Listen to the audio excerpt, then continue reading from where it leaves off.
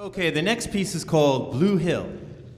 And one of the things we really like to do is collaborate with artists. So tonight we are very honored and happy to have Doug Reina, who's come uh, from Stony Brook areas and environs. He's a fine plein air painter, and he's going to attempt to play, to paint what we play while we play what he paints.